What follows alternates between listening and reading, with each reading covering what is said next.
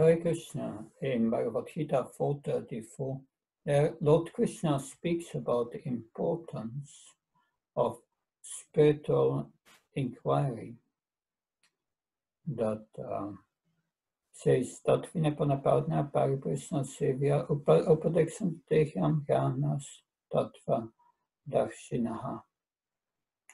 So try to learn the, the truth absolute truth by approaching a spiritual master, inquire from him, and serving him in a submissive way.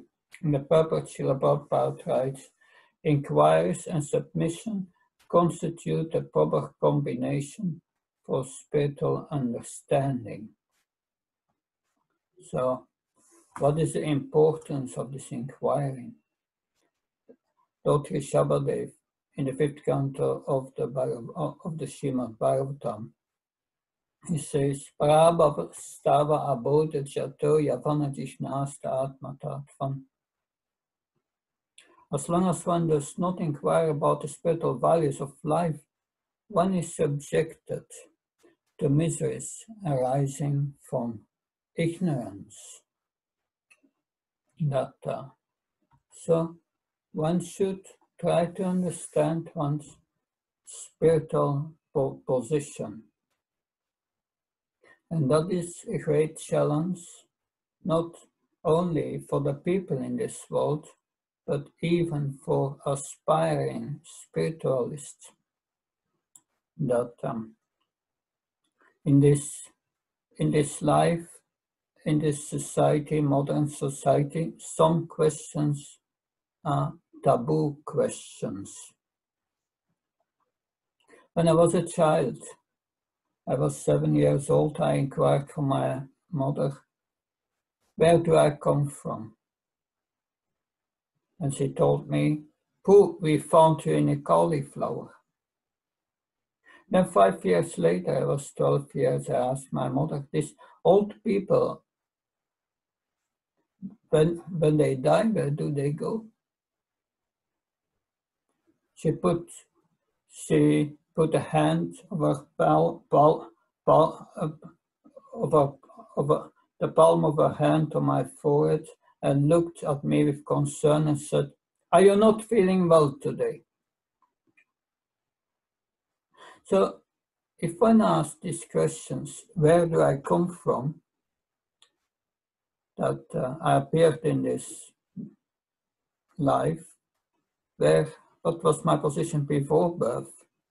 And where do I go when I die? Who am I? What is the purpose of my life? Because I see that everyone is dying. Whatever you want to achieve in your life, finish at the time of death. So it's finally all for nothing. So why do I live that uh, it requires spiritual IQ to understand it. If you ask this question in modern society, you are not considered normal. They will say this person cannot enjoy normally.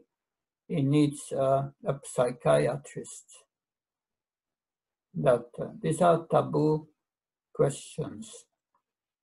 But in the Vedic system, children were made aware from a, a young age you are the spirit soul, you are not a body, and the body is temporary. That um, all disengagement to give pleasure to a temporary body is futile. So, what is the, the purpose of my life? This is all explained in Bhagavad Gita and in the Srimad Bhagavatam. In the Vedic literature, it's clear that we are, we are here because of our own desire to enjoy separate from Krishna. And the whole creation is an organization to, is organized by Krishna to bring us back to the spiritual world, to frustrate us in our attempts to enjoy separate from Him. And by that we get karma for our own actions. That uh, this is yeah, the architect of our own happiness. But that requires spiritual understanding. And where does this spiritual understanding come from?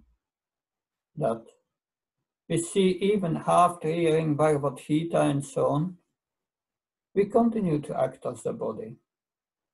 That uh, we continue to act according to our attachment. It's so strong.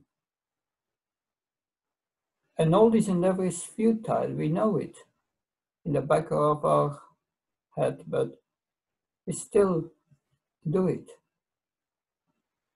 So it requires purification of the heart, that otherwise this attachment remain. And it requires the development of spiritual IQ. Spiritual IQ is not obtained by the brain. The brain is material. How can you understand through the brain something that is spiritual? It's, it, it will remain always very superficial. The deeper understanding comes to the heart, to the soul. That, and Lord Krishna explains in 10.10 of Bhagavad Gita, Tesham satayuknam bhatstam pidgurkam dadami buddhyogatam yena mam upayamti te. That if, if one serves me with a little love, one pleases me, one pleases Krishna when one pleases his representative, the spiritual master.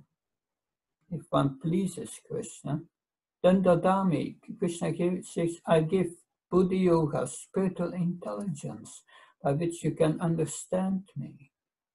Tesham Evanakamparam Amajana Jamtaman Nasa Jamat Mabhavastagana Tipanya Vashvata. From within the heart, I give this understanding.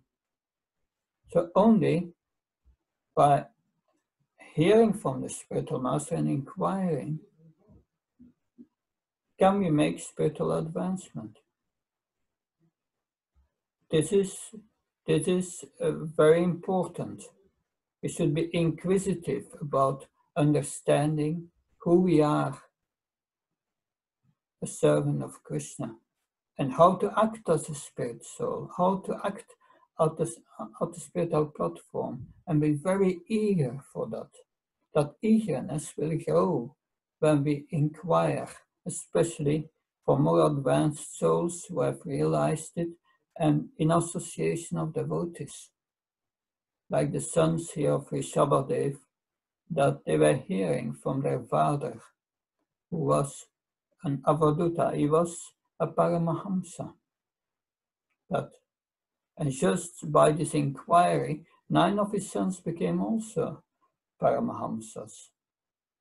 So it, it, it's so powerful, but we should be eager to understand our spiritual position that and make spiritual advancement.